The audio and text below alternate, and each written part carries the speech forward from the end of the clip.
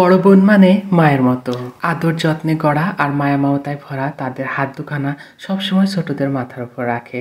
Hello বন্ধুরা, আসসালামু আলাইকুম। আশা করি সবাই ভালো আছেন। আলহামদুলিল্লাহ আপনাদের দোয়া এবং আল্লাহ তালার অশেষ রহমতে আমরাও ভালো আছি। আমার কথার সাথে বা আমার মতের সাথে আপনাদের মত নাও মিলতে পারে, কিন্তু আমি প্র্যাকটিক্যালি প্রমাণিত। যাদের বড় বোন আছে, তারা হয়তোবা কিছুটা হলেও জানেন যে বড় বোনের কত গুণ। আর বিশেষ করে যাদের ভাই থাকে না, তারা তো আরও বেশি বুঝতে পারে যে বড় বোনটা তাদের কাছে কি মনে হয়?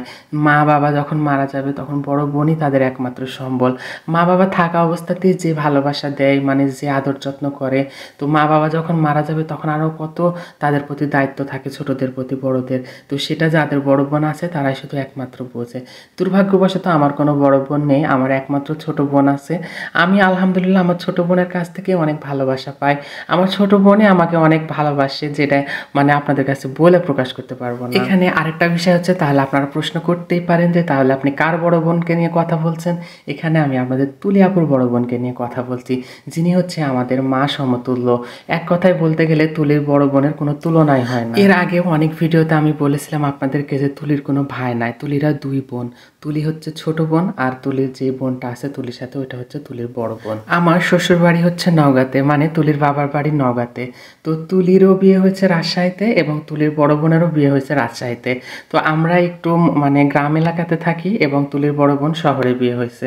তো তুলির বড় বোন সেখানেই থাকে। আর আমার এই ভিডিওটা এক সপ্তাহ আগের ভিডিও। আমরা যখন তুলির বোনের বাড়িতে গিয়েছিলাম, তো তখনকার ভিডিও এটা। তো সেদিন রাতে হঠাৎ করে তুলি বলছিল, আমি ফুচকা খাব এবং রাতের বাজারটা একটু ঘুরে দেখব। আমাদের ওইভাবে মানে যাওয়া হয় না বাজারে সব সময় আমরা গ্রাম এলাকাতেই থাকি আর গ্রামে অনেক মনে করেন যে কাজ টাজ থাকে। সেই ক্ষেত্রে ওইভাবে রাত্রি যাপনও করা হয় না তুলির বড় বোনের বাড়িতে গিয়ে। তো সেদিন আমরা গিয়েছিলাম এক রাতের জন্য। তো দিনের বেলা আমরা যে শপিং করেছিলাম সেটা আপনাদের সাথে শেয়ার করেছিলাম।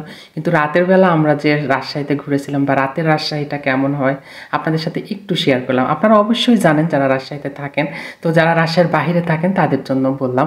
তো রাতের বেলা আমরা রাজশাহীতে গেছিলাম, তুলি ফুচকা খাবে সেই জন্য আর মনে করেন যে মেয়েদেরকে নিয়ে যদি বাজারে যাওয়া যায়, তারা তো কিছু না কিছু কিনবেই। তো সেই ক্ষেত্রে একটু টুকটাক কিছু তুলির বড় বোনের জন্য একটা মশারি, বিছানা, চাদর, তারপরে তুলির পায়েস মানে স্যান্ডেল নিতে গিয়েছিলাম। কিন্তু তুলির পছন্দ হয়েছিল, কিন্তু আমার পছন্দ হয়নি, সেজন্য নেওয়া হয়নি। তো আমার পায়ের জন্য একজোড়া চটি নিয়েছিলাম। আর সব শেষে ফুচকা। মেয়েরা তো যেখানে যাবে ফুচকা খাবে।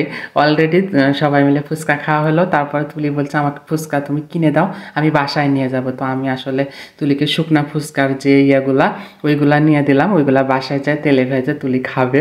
তো আজকের ভিডিওটা এ পর্যন্তই।